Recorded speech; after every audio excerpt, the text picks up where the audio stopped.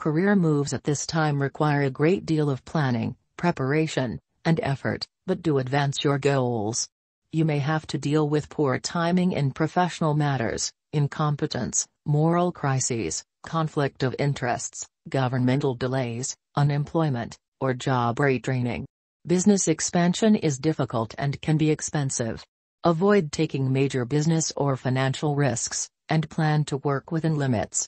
Your feelings of security can be tested by people who are oppressive and who do not operate on your wavelength. Stable conditions can change through disruptive information. Your sense of security and values can be affected by people who are involved in your objectives. You may exert pressure to have your ideas accepted, but people can be uncooperative and difficult.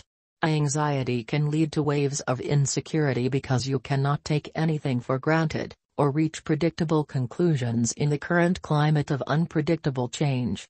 Security-based routines can be disrupted through the changes which can result in separations or breaks. Arrangements may not work out according to plan. Be prepared and accept the temporary setbacks. Other people's financial concerns can affect your financial security resulting in financial uncertainty. You must try the changes. When transit Jupiter is square your natal Saturn, you will have to make adjustments in your professional life or in your personal and karmic obligations. There may be some distancing of people or circumstances that do not suit you. Your moral behavior will change.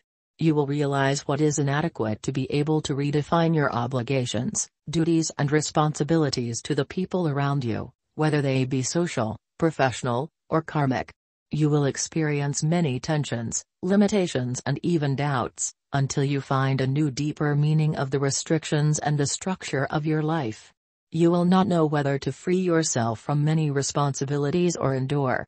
Perhaps solitude will be good for you to reflect and break the restlessness and uncertainty.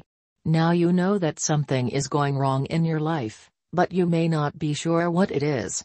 Take your time before reaching any decision. It is a critical moment in your profession, where you must face your restrictions and what you are not giving enough importance or attention to. A feeling of resentment towards limitations causes a lot of internal commotion. You may have new job opportunities, which you should think about, as you must weigh properly what the advantages and disadvantages are. You may not see everything clearly now, you can expand your field of action and your awareness and wisdom regarding your influence on the outside world as long as you maintain patience and tolerance. Love and private life. Fears and complexes may sometimes stand in the way of your success. You might see an attractive, potential, partner and think, I would never have a chance with him anyway. And then you would come up with 100 reasons why you could not be a worthy partner for him. Jupiter is making an issue of such thoughts in order to awaken you to the realization that these only serve to put an obstacle in your path. But it is also possible now that you have now been awakened, thanks to Jupiter, you might actually take up with a partner who is one size too big for you. This could lead to problems sooner or later if you have just pushed your fears aside instead of dealing with them.